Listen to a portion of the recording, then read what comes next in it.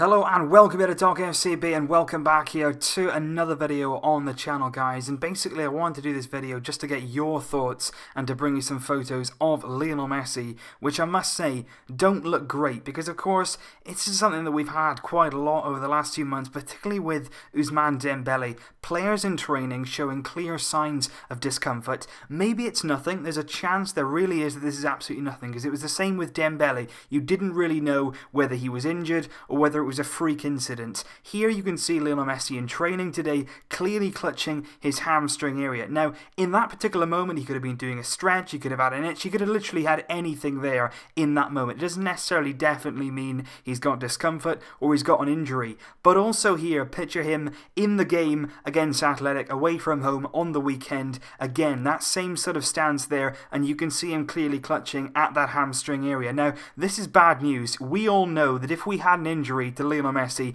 our season would be an absolute. It would be in pieces. You know, that's the bottom line here. Messi is everything right now. Everything goes through Messi. Our hopes and our dreams lie on this man's shoulders. And if he got injured, I don't want to think about what would happen. So I just want to know your guys' thoughts. What would you do with Lionel Messi tomorrow? My personal opinion, if this is discomfort, and if it is, I really hope the club know about it. I'm sure they would. If there's anything, any kind of twinge, I wouldn't play him. Any game is not worth the risk with Messi. If there was El Clasico tomorrow, I would still rather rest him, make sure that he's 100% ready to go, and then play him rather than take that risk. Because one game is not worth the risk with Messi. I would rather see him sit it out, get better, get fit, get healthy, get comfortable, and then come back and be at his very, very best. Up until then, nothing else is worth the risk for me. So I just wanted to let you guys know about this. If you hadn't seen it, here are some of the photos. Obviously, very strong correlations with the Dembele photo photos. Let me know in the comments down below, guys. Do you think there's anything to read on here?